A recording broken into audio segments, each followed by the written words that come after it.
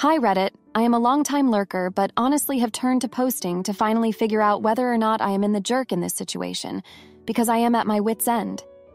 My husband, 34 year old male, and I, 32 year old female, have been together since high school and we've been married for eight years. We've always had a strong relationship, but there's one person who constantly causes issues his mother. Let's call her Milzilla.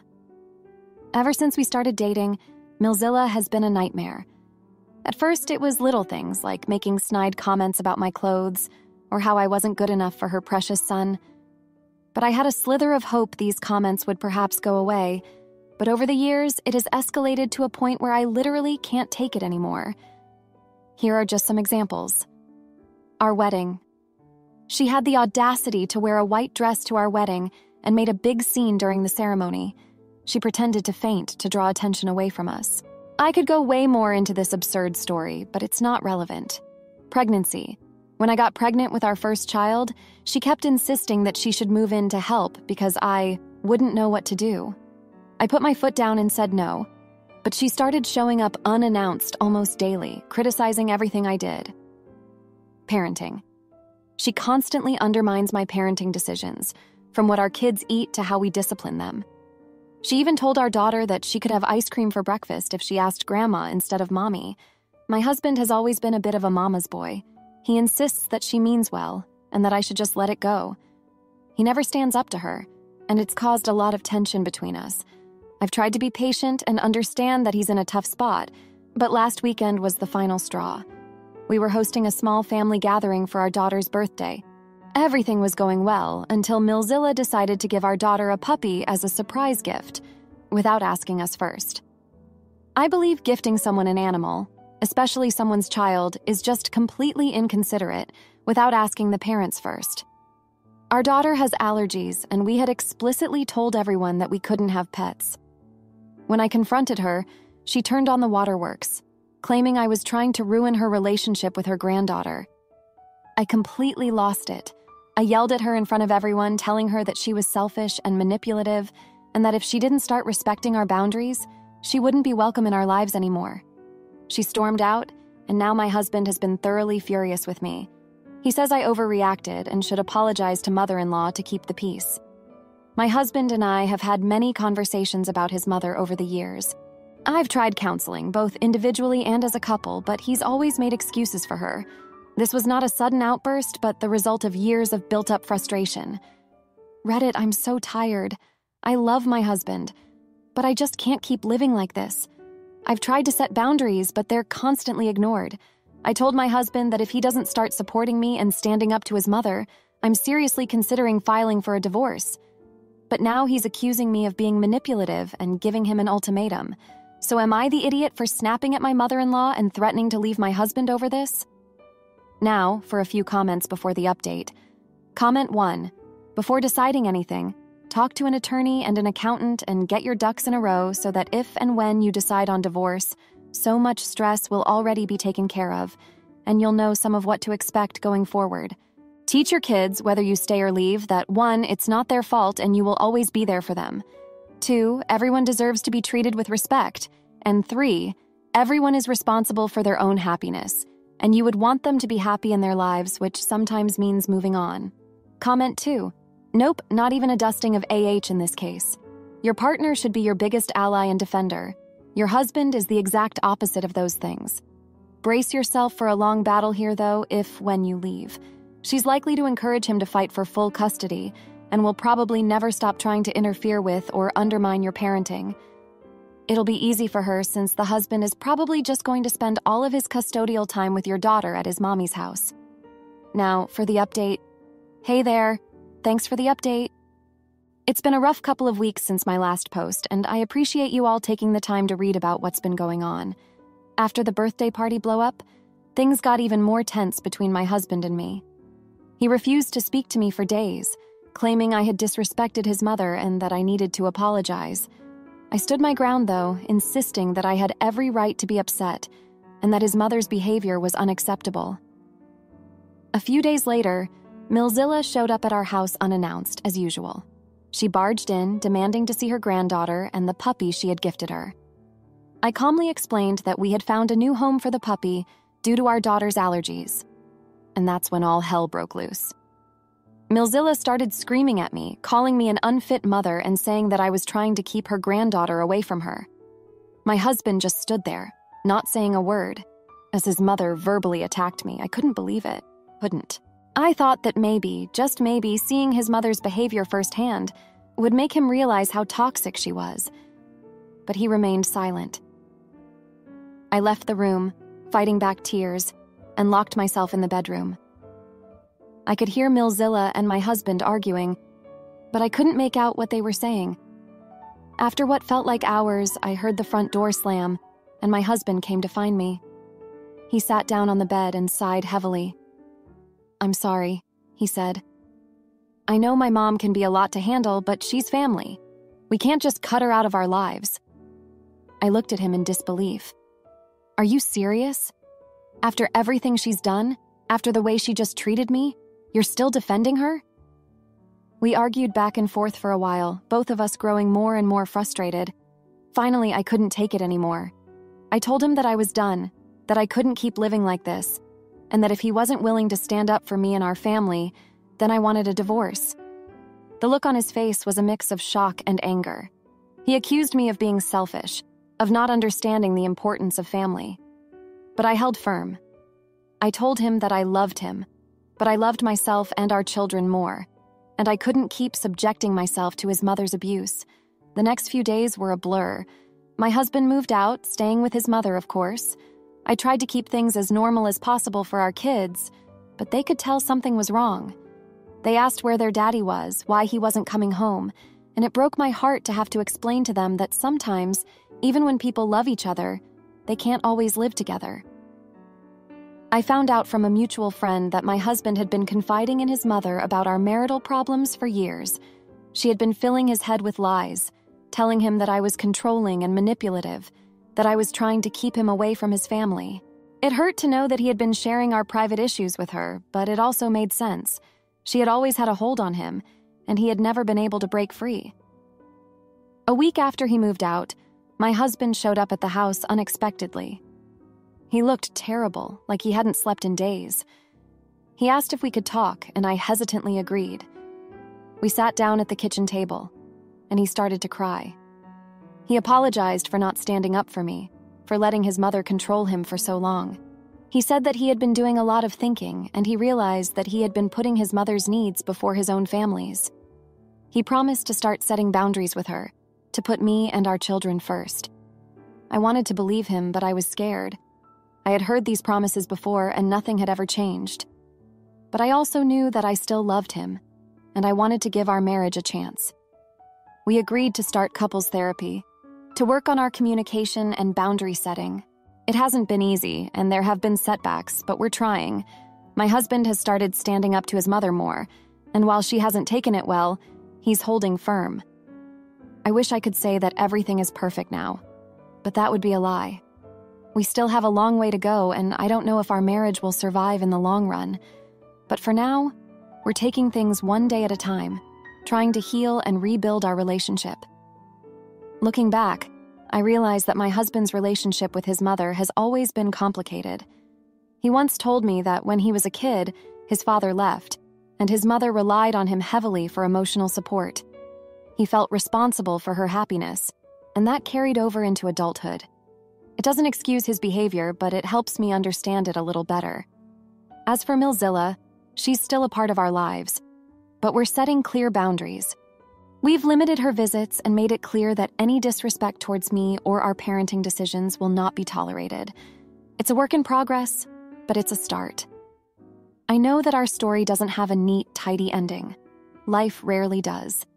But I'm hopeful that with time, patience, and a lot of hard work, my husband and I can build a stronger, healthier relationship, one that puts our family first. Thanks for reading and for all of your support. It means more than you know. Am I the idiot for refusing to pay for my younger stepson's wedding after he's been nothing but rude to me? I have two stepsons 27 year old male and 30 year old male. Their father and I have been married for 10 years and maintain largely separate finances. I also have two biological children 20 year old female and 23 year old male. My husband is in management and I'm an RN. We make similar salaries. We generally each buy for our own children, pay for our own children for dinners out, etc. I'm very close to my older stepson. In fact, he calls me mom, and I refer to him as my son. He's married to an amazing woman who I have a similar relationship with. Her mom died when she was 12, and she spent the rest of her childhood bouncing from one relative to another. I love them both. When older stepson got married, they paid for their own wedding. Daughter in law is a bigger girl, not used to wearing dresses. She had several tearful appointments, which I was invited to, where she hated everything she tried on. I got the seamstress who sewed pageant dresses for my daughter to come to an appointment with us. She was able to point us towards a different style of dress, corset, which was much more flattering, and ended up sewing a beautiful dress and shawl, making a veil and matching bouquet that was over their budget. But I paid the difference. I also paid the difference between the cake they could afford and the one daughter in law wanted. Guess how I knew? Right because she invited me to the cake tasting. I also paid something towards catering because daughter in law had her heart set on chocolate covered strawberries and they weren't available with the cheapest packages, Again, I went with her to meet with the caterer. Best I remember, I covered about $3,000, $4,000. I didn't pay it all at once, so I really don't remember exactly how much it was. Younger stepson and I have a cordial but much cooler relationship. He's never been super rude to me, but he's made it very clear that he doesn't like me. He has never spoken to me first in the 10 years we've known each other. If I address him and he has to answer, I get as few words as he can politely manage. If he can pretend like he didn't hear me and avoid speaking to me at all, he will. Mostly, he just ignores me as much as possible. His girlfriend, now fiance, is the same way. They've also made it clear that their future children will not call me grandma because I'm not. I can't understand why you want to be hurtful about hypothetical grandchildren, but I've long ago decided to just let things be between us. The only time his fiance ever spoke to me first was when she asked me at dinner in a crowded restaurant how much money I intended to contribute to their wedding because she and her mom are working out the budget. I told her the truth, which is that it hadn't even occurred to me that they might expect me to, so I hadn't really given it any thought. She asked when I might have an idea because they need to decide on a venue and book something. I told her that they should pick their venue and plan their budget without the expectation of a contribution from me. Younger stepson then said, I told you not to ask her. She gives money according to who kisses her a dollar dollar. It is true that I exchange gifts with my older stepson and his wife for holidays, but that's a two way street. I buy them birthday and Christmas gifts, but they do the same for me. Younger stepson's dad gets him and his fiancee presents, but I don't. They get his dad gifts, but not me. So am I the idiot for treating them differently because I have very different relationships with them? Now, for a few comments before the update. Comment 1 not the idiot. In fairness to stepson, it would seem he didn't plan on asking OP for money. He had told his wife not to. However, his fiancee has no issue with completely disregarding his wishes about who he sees as family and sticking her hand out for OP's money. That is not going to be a marriage of happiness and consideration. That is stepson's problem, and OP should stay out of it completely. But the stepson is wrong to blame it on kissing butt. The flip side of estranging yourself from someone and treating them like an unwelcome outsider is that you don't get to demand the benefits of family. Comment 2. Not the idiot and wow, they are difficult to be around. The entitlement is beaming all the way to here. They sound entitled, young, and lack insight on how authentic relationships are created. Where is your husband in regards to this exchange? Did he point out that finances are to be discussed with him and not during this meal? Did he respond to the kiss butt comment? The son may be out of line since his attitude was never addressed in the past. You keep loving on your older stepson and wife, they are gems. We are on Earth for a limited time, so soak in the goodness they bring. Now, for the update. Hey everyone, it's been a while since my last post, and a lot has happened in the past three months. After the incident at the restaurant, things between my younger stepson, his fiancee, and I remained tense. We barely spoke, and when we did, it was short and awkward. I tried to be cordial, but they made it clear they wanted nothing to do with me. Meanwhile, my relationship with my older stepson and daughter in law continued to grow.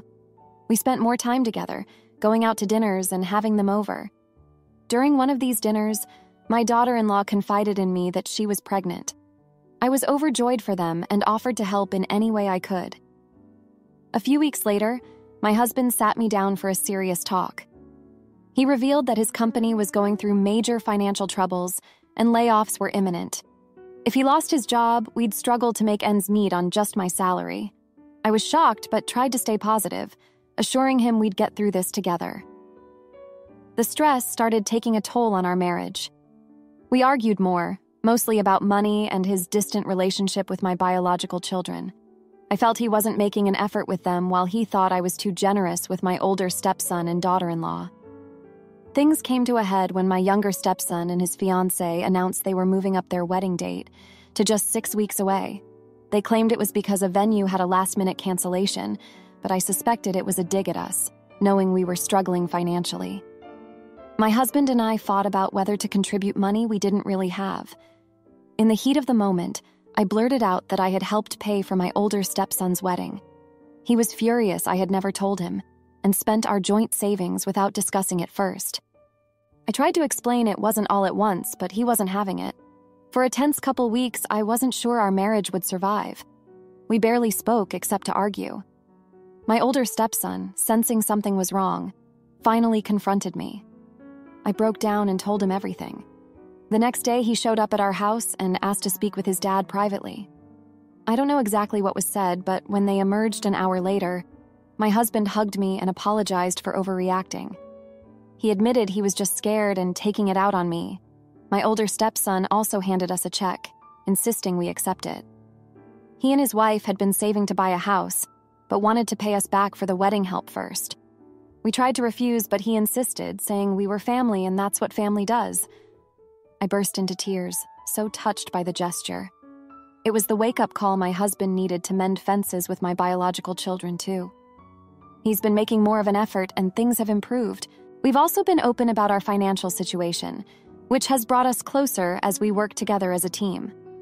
As for my younger stepson, he and his fiancee had a small, simple ceremony which we attended but did not contribute to financially. It was awkward, but civil. I doubt we'll ever be close, but I've accepted it.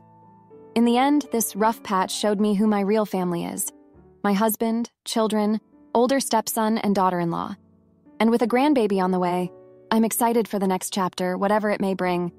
Thanks for reading and all your support. Am I the idiot for dumping my fiance after his mom criticized my looks and he did nothing? We've been together for four years and got engaged early this year. His mom lives in a different state from us, so I've only spoken to her through texts and occasional FaceTimes, and she seemed really nice.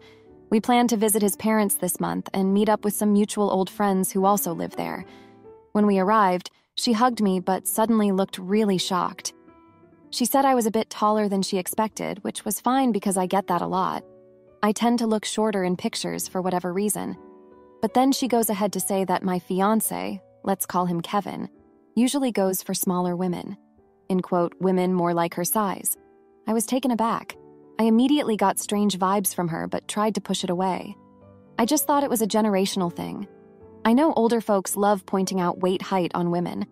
Mind you, I don't even think I'll be considered that tall. I'm 5'6. But she was clearly smaller than me by a few inches. Anyways, we're unloading the snacks we brought onto the table when she asks me to help her tighten her dress. It was one of those dresses with crisscross fastens at the back. It was a bit of a struggle to tighten the strings, and she just started shouting. It must be the breasts. The dress hates them, but the men love them. When she didn't get a reaction, she asked Kevin, Isn't that right? You, their last name, men love a full rack. Remember how excited you were with Lexi? I couldn't even believe it. I am not big chested in any way, and she just compared my breasts with his ex's. Kevin didn't even try to say anything to defend me. He just sat there. To make it even worse, she kept saying how I was the first dark haired girl she's seen her son with. She's blonde, and kept talking about how men always go for women that look like their mothers the whole night. I told him how uncomfortable it made me feel, and he said I was overreacting and that she's kinda right. Kinda right? What do you mean, kinda right? How am I meant to move on knowing I'm not even his type? And his mom clearly has a weird thing for her son. He's been acting like he doesn't notice what his mom is saying and how it's been affecting me. I'm very shocked. I don't think I've ever really been insecure about my features, but they're both just making me second guess myself.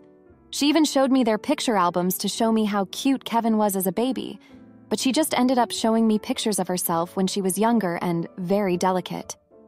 She also showed me her labor pictures, and when she was pregnant with Kevin, saying that all the nurses were shocked by how tiny she was while being fully pregnant.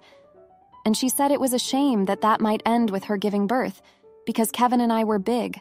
I finally broke and told her and my fiance that she could be the person to marry him since she's obsessed with him.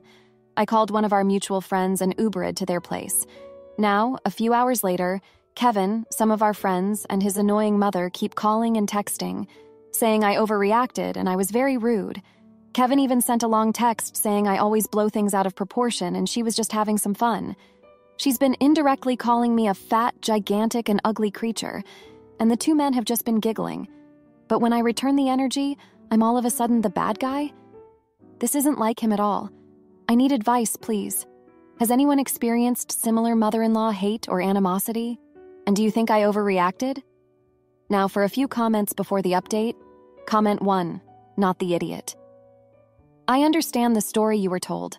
I was too uncomfortable to stay. His mother even asked him for his opinion of her breasts, and it only got more uncomfortable from there. Thank you for checking on me, but that situation was just more than I want to be a bystander to. Comment 2 Not the idiot. Do not marry him. You told him you were uncomfortable, and he didn't care. He is a full on mama's boy, and that isn't going to change, even if he says he will change. It's a lie, it's not an on and off switch. Now, for the update. Hey everyone, thanks for reading my previous post and offering your support. It's been a rough few days since I last updated, and I've got a lot to share. After spending the night at my friend's place, I decided to head back to Kevin's parents' house to try and smooth things over. I figured maybe we could all sit down and have a calm, rational discussion about what happened. Boy, was I wrong. When I arrived, Kevin's mom was waiting for me at the door with a smug look on her face. She invited me inside, but as soon as I stepped foot in the house, she started laying into me. She said that I had embarrassed her in front of her friends and family, and that I had no right to speak to her the way I did. She also made some snide comments about how I wasn't good enough for her son and how he could do so much better. I tried to stay calm and explain my side of the story, but she just wouldn't listen. She kept interrupting me and twisting my words around, making it seem like I was the one in the wrong. Kevin just sat there silently, not saying a word in my defense. It was like he had completely checked out of the conversation. Things only got worse from there. Kevin's mom started bringing up old arguments and grievances that I thought we had already resolved. She accused me of being selfish and ungrateful and said that I had never appreciated all the things she had done for me. I was completely blindsided by her accusations, and I had no idea where they were coming from. As the argument escalated, Kevin finally spoke up, but not in the way I had hoped. He said that he agreed with his mom and that I needed to apologize for my behavior. He said that I had been disrespectful and out of line, and that I needed to make things right.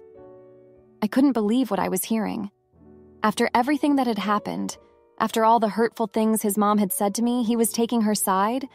I felt like I had been punched in the gut. I tried to reason with him, to remind him of all the times his mom had crossed the line and made me feel uncomfortable, but he just wouldn't listen.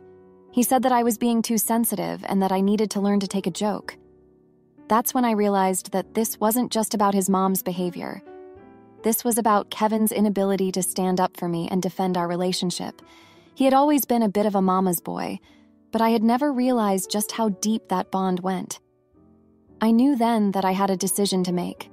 I could either stay and try to work things out with Kevin and his mom, or I could walk away and start fresh on my own. It was a gut wrenching choice, but in the end, I knew what I had to do. I packed my bags and left that night, leaving behind a stunned Kevin and his equally shocked mother. I knew that I deserved better than to be treated like a second class citizen in my own relationship, and I wasn't going to settle for anything less. Since then, I've been staying with friends and trying to figure out my next steps. It hasn't been easy, but I know that I made the right choice for myself. I'm not sure what the future holds, but I know that I'm strong enough to face whatever comes my way. Thanks again for all your support and advice. It means the world to me to know that I'm not alone in this. Until next time, take care of yourselves. If you liked this video, you'll probably like these too. Also, while you're here, please consider subscribing. It's your support that keeps this channel alive and allows me to make better and longer videos. Have a great day.